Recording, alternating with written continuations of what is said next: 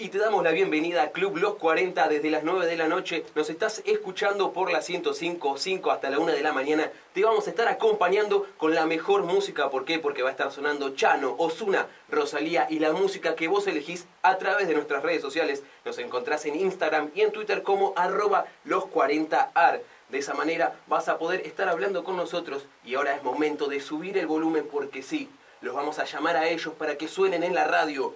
Shawn Méndez, Camila Cabello van a hacer este gran tema que se llama Señorita. Ay,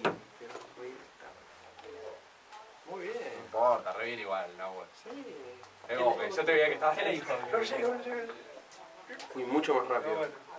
Sí, Bueno, lo que vos estás es que conté manifestando, 15, sí. Lo que él está manifestando es justamente el trabajo que hacemos nosotros todo el tiempo, el just- hablar del tiempo y calcular los tiempos, es un ejercicio de todos los días. ¿Cómo hago para me- eh, acomodar el discurso y que en el tiempo que me, es, es- te va saliendo con el tiempo? Ah, no es algo que se aprende Claro. en un No día. es de un día para el otro. Igual la energía es de los 40 la que tiré o no? Sí, más sí, sí, sí. Y Si querés ir más arriba todavía, Vale, mejor. Más arriba también. Más arriba, sí. Hola, ¿cómo están? Soy Nico Maldonado, locutor de los 40 105.5 y también de Aspen 102.3.